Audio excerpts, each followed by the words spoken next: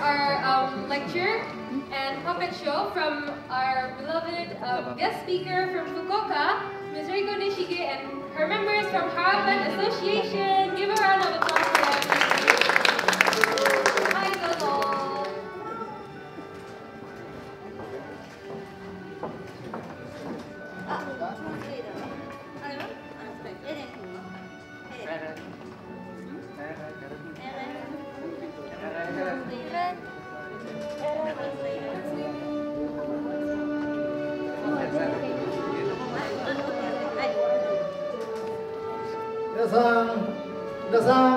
さん、こんにちは。こんにちは。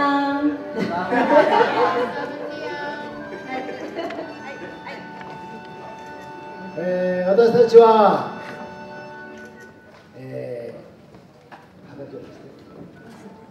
私たちは東京オリンピックに向けて2020年の東京オリンピックに向けてインドネシアをデザインした着物を作りました Hello guys, so we are あのあ後ほど興味がある人はもらってください so facing the Olympics games. We are making the kimonos and it's designed like uh, with Indonesian style. えーそれをきっかけにそれをスタートにしてインドネシアと日本の文化交流を進めていこうと思います And that's that's the start of our uh, mission and our objective to make a closer relation between Japan and Indonesia. えーそれでそのメンバーを紹介します、Then we're going to introduce our member. えー会長が根重と言いますビビジネスでもういいですか。はい、自分のまず言って。食べるみたいなはい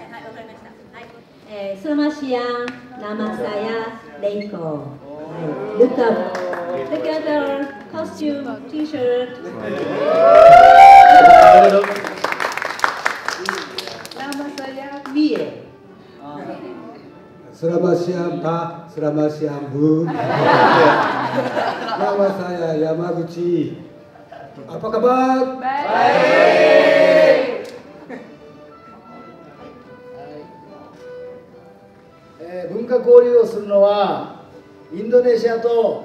日本が仲良くすることが目的です So we're going uh, like their objective of making um, good relation between Japan and Indonesia. So their objective. えー仲良くするためには今から未来のインドネシアを未来の日本を作る子どもたちが大事ですね皆さんも含めた子どもたちが大事ですじゃあ子どもたちのために日本の文化を伝えるために紙芝居日本の昔のお話を。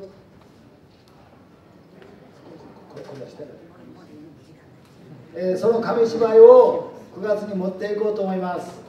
でインドネシアからまたインドネシアのお話を日本で日本の子どもたちに紹介しようと思います。今日はどうぞよろしくお願いいたします。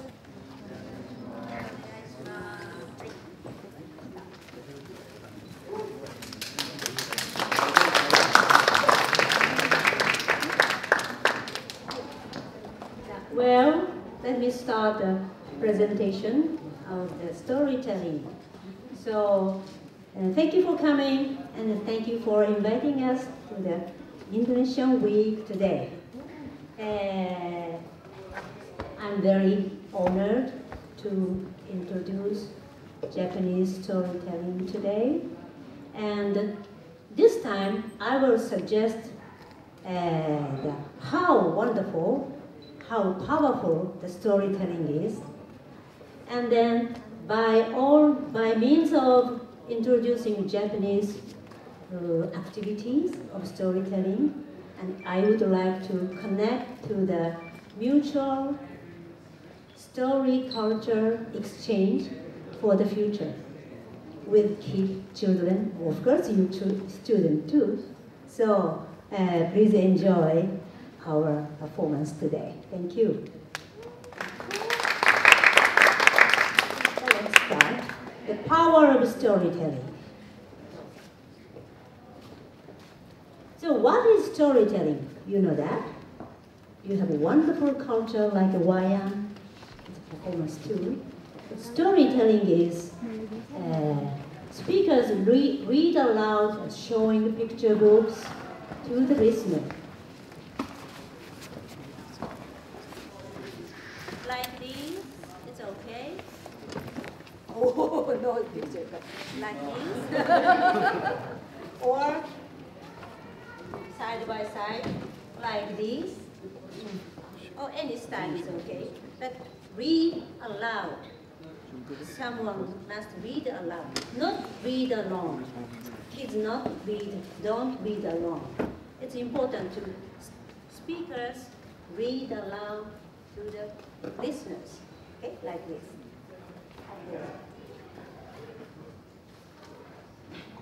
And in Japan, the performance of storytelling started at elementary school in 1895.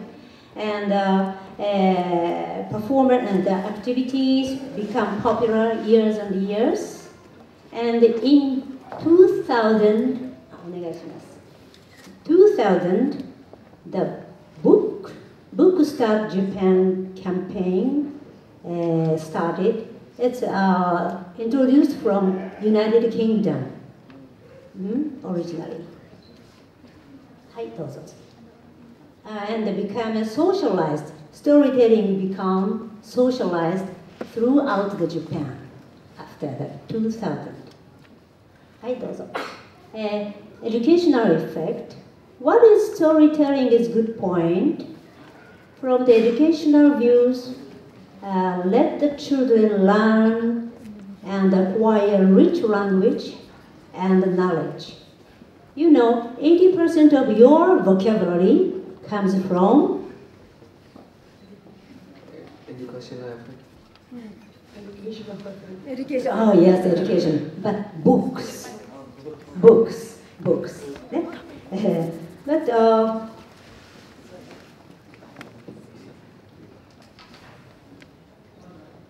and uh, eh, so so so yes that. And by the picture story, uh, ah, so storytelling is.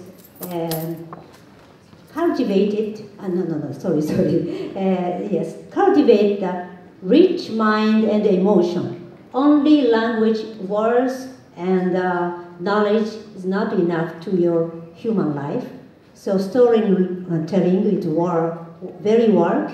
Uh, you cultivate a rich mind and emotion.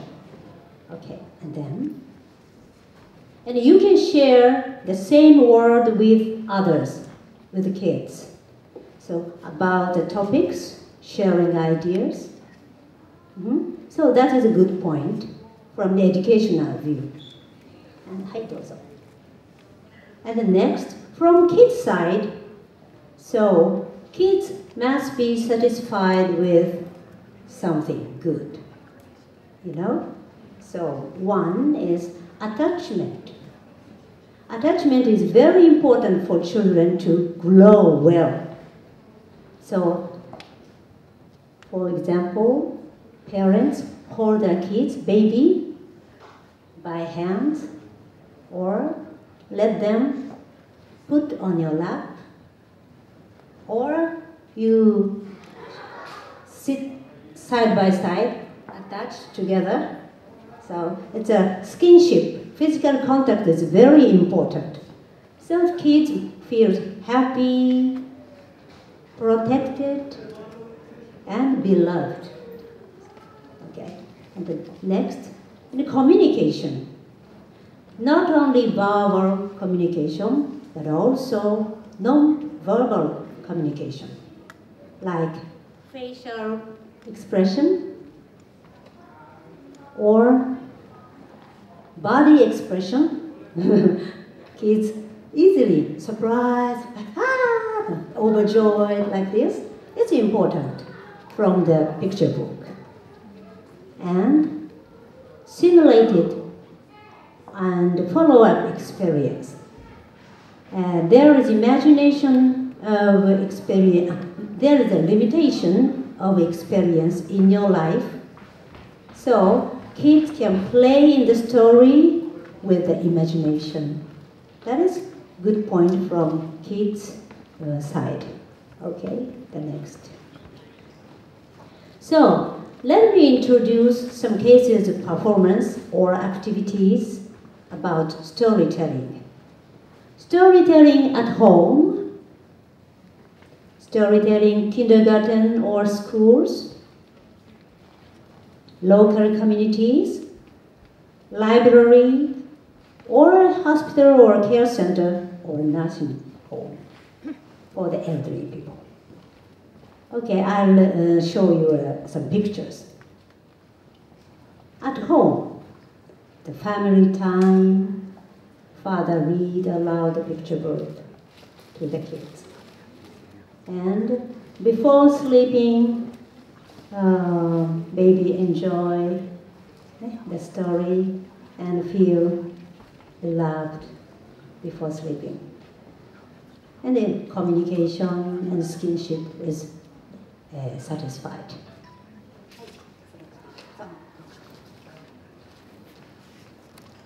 At school, I told you two uh, years of 2000, social activity of storytelling became popular, and at the same time, 10 minutes of morning reading movement started. Hmm. Uh, uh, so the volunteer people comes to the school and get into the classroom before lessons 1時間目の前 and uh, uh, read uh, one book for 10 minutes, about 10 minutes. Mm -hmm. So uh, kids be very relaxed, sometimes relaxed, and also they may ready to concentrate to the study eh, after the storytelling. It works. Hey, dozo. At the daycare center, so one day, one of day program of elderly. はい、どうぞ。At the library, this is Kurume Citizen Library. So collection is 75,000 books uh, uh, in the kids room. Okay, that kids room. And uh, uh, the event is held on weekend, Sunday, Saturday, Sunday, the volunteer comes and read a book for the kids in that room. Hai. A new book introduction and last the reception. Reception as always keep smiling and welcome to the kids. Hai dozo. At the community, there are many event, annual event are uh, held in the community center too. So picture story show at Christmas meeting, storytelling by citizen volunteer. And from babies to elderly people are okay. Welcome. Hi. So you are an Indonesian student? Yes? So you know what kind of picture books? Can you tell the name? You have experience? You had listened to this. Eh? Yes? Somebody? What? I remember this book from my childhood name is Kanchil. Yeah. Okay, that answer.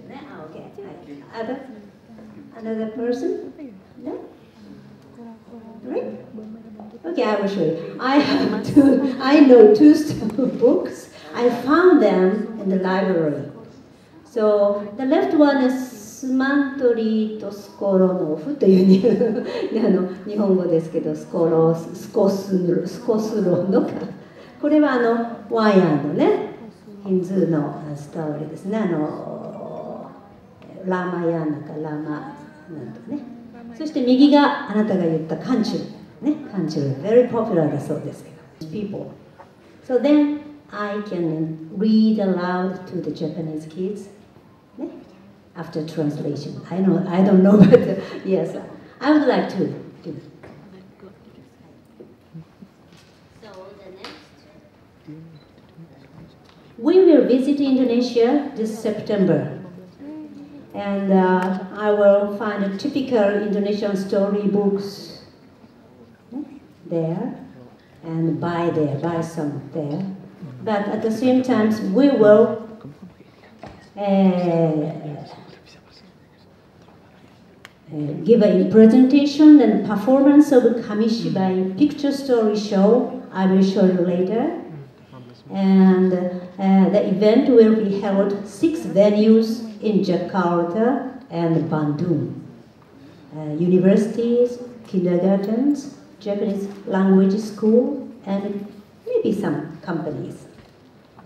So to introduce Japanese way of storytelling picture book, fun play kits for the elderly people and exercise like this, dance.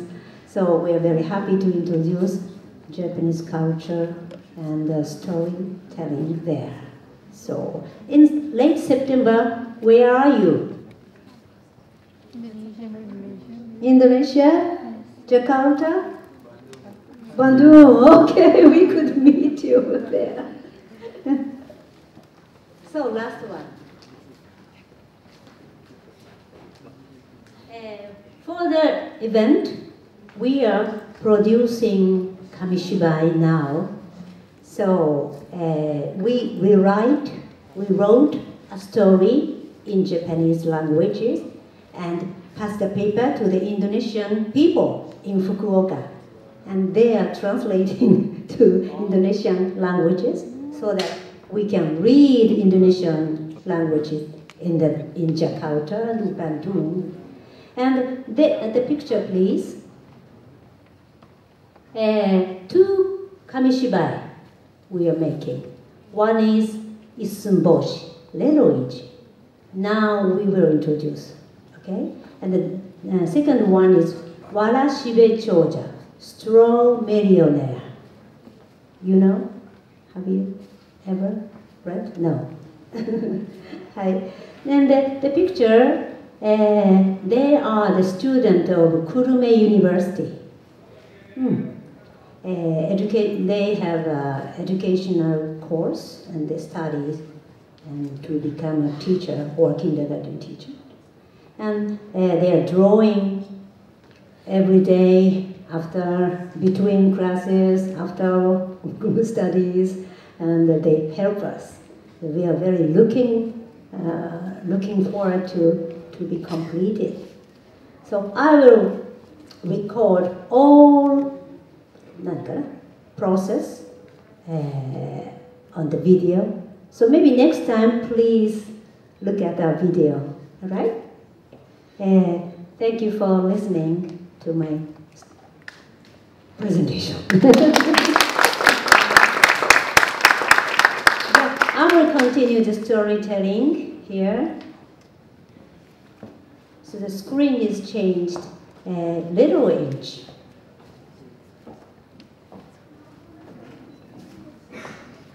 And then this is Kamishibai box, like this.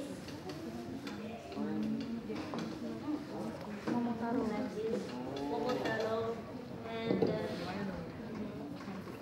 next picture, and inside uh, one page, back, and storytelling from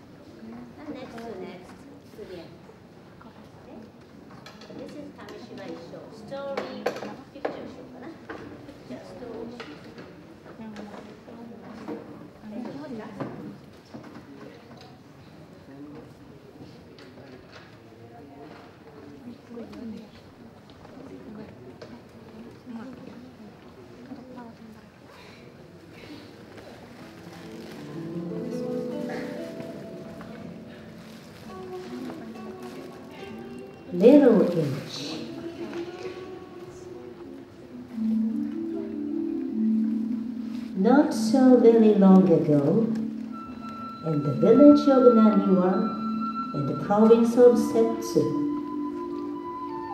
there lived a married couple who were both past 40 and still had no children.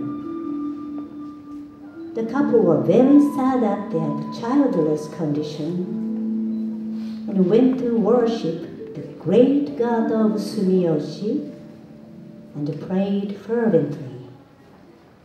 Please, please send us a child.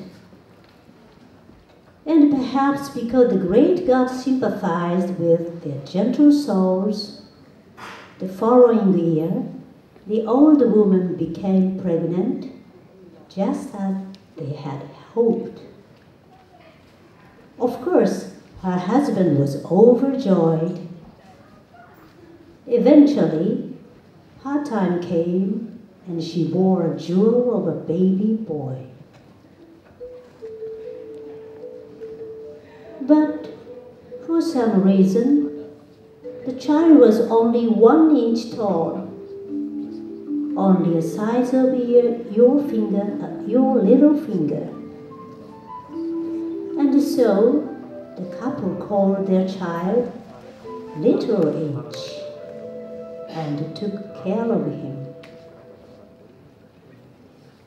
The years went by quickly and soon Little Inch was 12 years old. But it did not, like, not look like he would ever grow.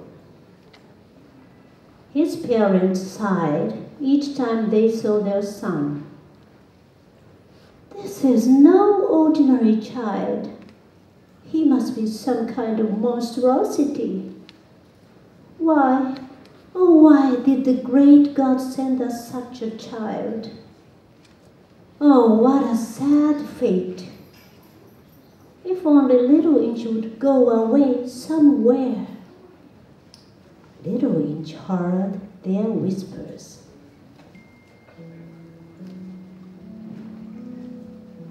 If my own parents dislike me, I'll have to live here. Any place would be better. And yet first, he needed a sword if he was to set out his travel alone. So he begged the needle to use a sword and fashioned a hilt and sheath from barley straw. So now he looked quite gallant and decided to leave for the capital. Next he got a rice bowl and chopsticks for a boat.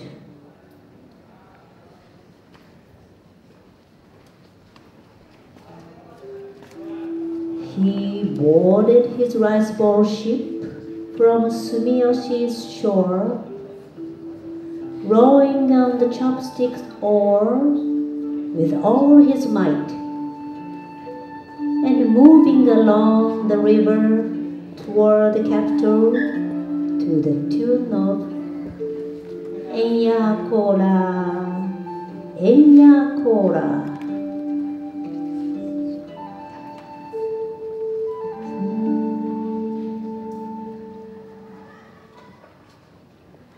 So in time, he reached the port of Toba.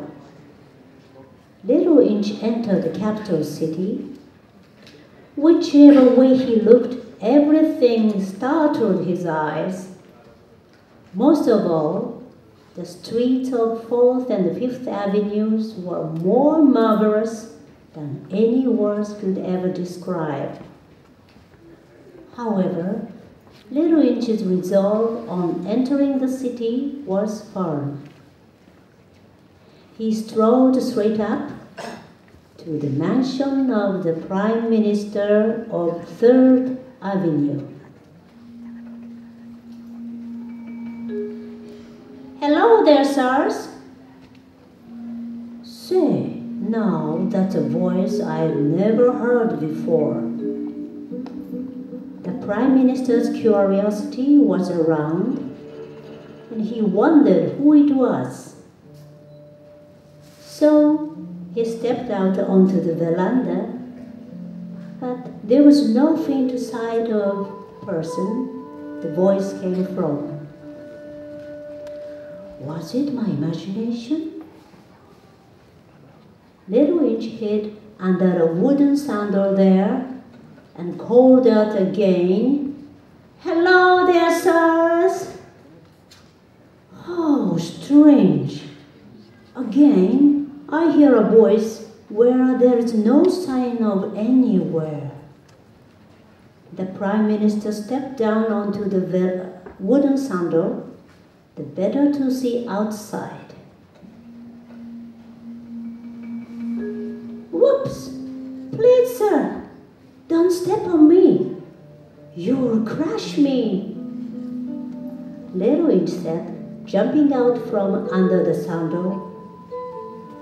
The Prime Minister now saw uh, where the voice came from, and his eyes went wide with surprise. Well, what an unusual little person. I'm not just unusual. I'll surely be useful to you. I like you. Good. You're hired. Time passed, and the little inch who had been living in the Prime Minister's mansion was already 16. Lamentably, he showed no sign of growing any taller. Was still the same little inch, but he had a secret wish hidden away in his heart. He had fallen in love with the princess, Prime Minister's daughter.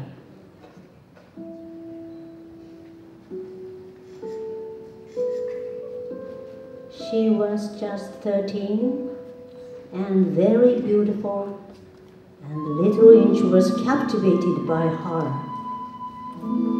A thief. He immediately began stuffing rice into a paper bag and cooked the rice. And when the princess was sleeping soundly, he went up to her and smeared grains of cooked rice all around her mouth. Then, holding the empty bag, he kept on crying bitterly. Luckily for him, the Prime Minister happened by. What's this, little inch? Why are you crying? Sir, it's very difficult for me to tell you this, but Princess ate up all my rice. I had it in this paper bag. Prime Minister looked at the sweet little princess. To his surprise, the princess's mouth was covered with sticky grains of rice. The Prime Minister flew into a rage and shouted, How dare you! How dare you steal like this? You are not good. Get out of here fast. Then he turned to Little Inch. The princess your rice. You may do with her as you like. Take her away, quickly. Little Inch thought, Good, I've done it. But when he turned to the princess, he hid his feelings. Come now, little Miss Thief, I will accompany you.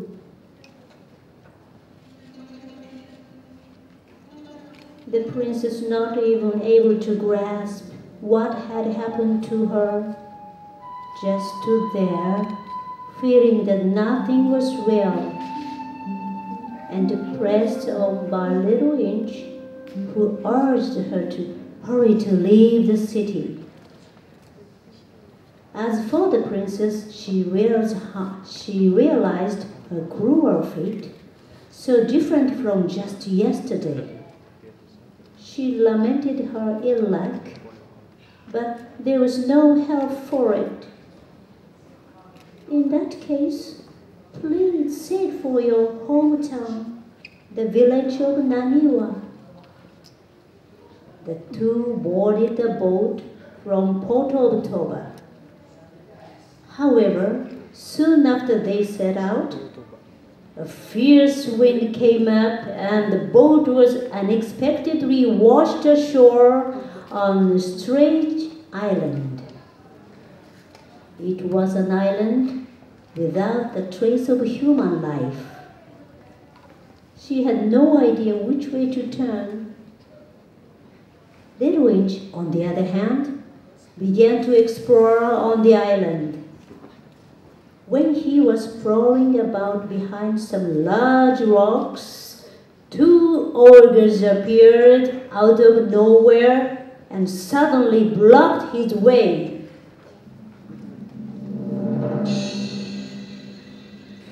What's this?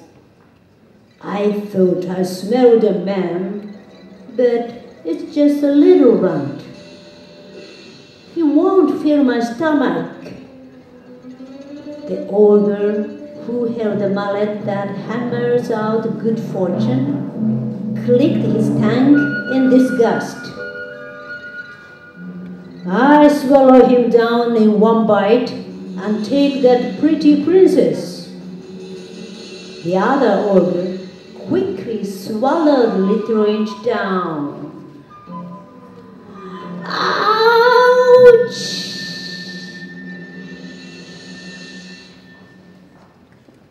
To the sound of the ogre's shriek, Little Inch leapt out of the ogre's eye. Oh, damn! What's nerve? Okay, I'll eat you again, and this time I crush your little head. The ogre picked Little Inch up with his thumb and two fingers and swallowed him whole again. And again, Little Inch leapt out of the ogre's eye in no time. Oh, what's a scoundrel? Okay, I'm a horrid ogre. On my honor, I crush him between my teeth. Little Inch was all serene, no matter how many times he was swallowed, he leapt out in no time. Oh, hell! This is no ordinary creature. Quick, run! No sooner said the ogres dropped everything the mallet, their staves, their whips, and they beat a retreat into the northwestern mist over the paradise of the Pure Land.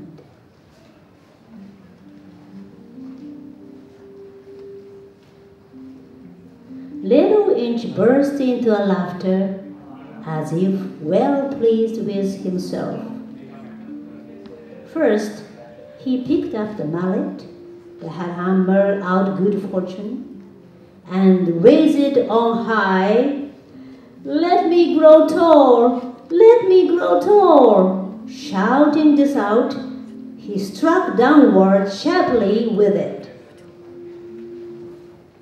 And strangely enough, Little Inch grew rapidly. The princess was too surprised to say anything but, Oh dear, oh dear me. In place of Little Inch, there suddenly stood before her eyes a handsome young man. Are you really Little Inch? The young man smiled and nodded his head. What a curious mallet, and how fortunate that he had gotten hold of it. Now, what do we need next? Of course, gold and silver treasure. Little Inch hammered out more than enough gold and silver and went back to the capital city with the princess.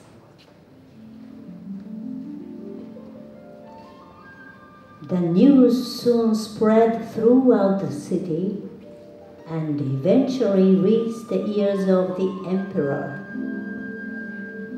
What a fantastic sounding tale! What kind of man is this to cause such a star in the city? By all means, order him to appear at court. At the emperor's command, Little Inch appeared at court right away. When the now elegant young man of fine presence appeared before him, the emperor was thoroughly impressed. Well, well, what a handsome young page. You must be of noble lineage. The emperor inquired earnestly as to Little Inch's upbringing and ancestry, and so on. Little Inch's parents, they now lived in the rustic village, but they were indeed of noble birth. The father, in fact, the son of the middle counselor of Horikawa, and his mother also was born into a noble family who held the title of captain of Fushimi. I knew it. The emperor immediately appointed Little Inch to the rank of captain. The captain took up the residence in the mansion at Horikawa in the capital city and at once sent to the village of Naniwa for his parents and proceeded to take the most good care of them. His parents, who were by now very old, were choked with tears of happiness.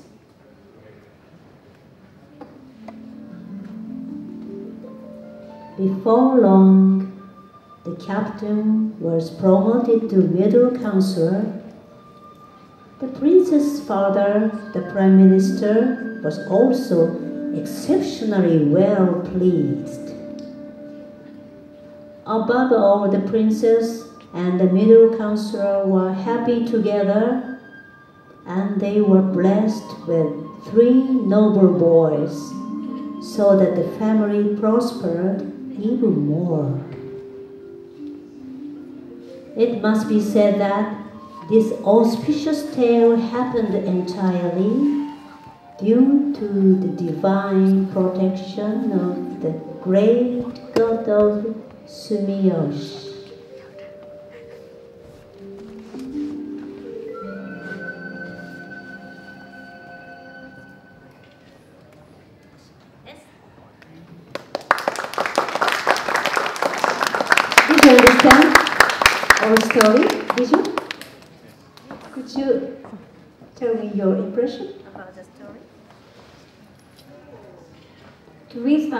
Like about the story. It was like about your storytelling, and I'm, I'm like inspired and amazed at how you incorporate like how you read, and at the same time have like a soundtrack to it. And it's easier to have like a slideshow instead of the traditional book holding pose. So I really enjoyed the whole entirety of the performance. Thank you. One more person? Enough?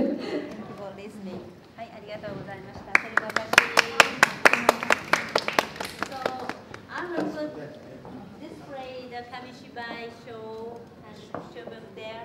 So if we have time, enjoy, okay?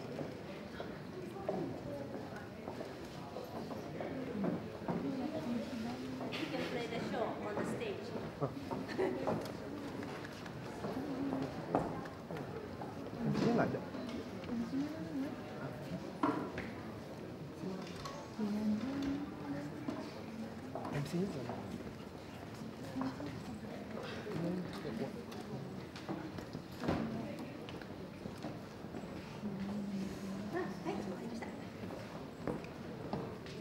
Please give another round of applause for our lecturer.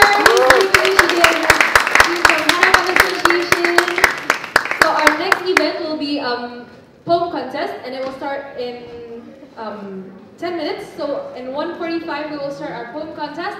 So now please have a look at all the installations that we have prepared for you guys, and we'll see you back in 10 minutes. Thank you guys.